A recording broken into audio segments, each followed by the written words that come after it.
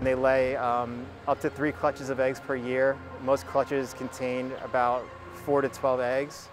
And then they hatch in about uh, late August into September.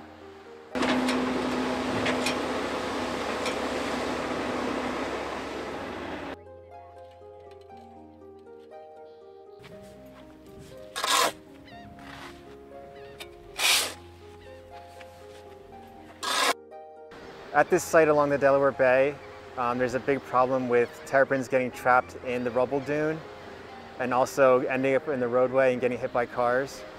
Um, so to help them out, we're creating a nesting garden, which is an, an area of raised sand that allows them to um, dig in and keeps them out of the road and gives them a, a, a better chance to have nesting success.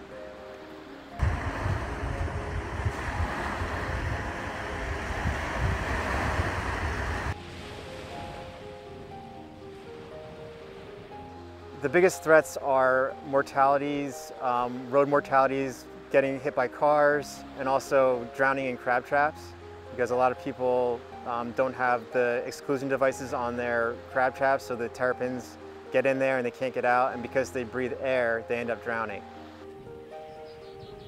You know, as you get these more intense storms, you end up losing a lot of shoreline, a lot of the habitat that they're used to nesting in no longer exists and then they end up going into the road to search for more suitable nesting sites and then they end up getting hit by cars. So uh, as the sea level rises, you know, climate change is having big impacts on terrapin populations.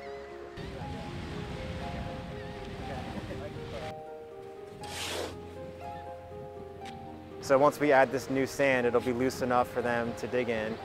And then we're also going to put up some fencing to keep them out of the road, as well as some signage to you know, make people aware that this is a sensitive site for nesting turtles. If you see a terrapin crossing the road, um, if there are no cars coming, you can just let it cross on its own. However, if it's in a situation where it needs some help, you can go ahead and pick it up and move it in the direction it was headed.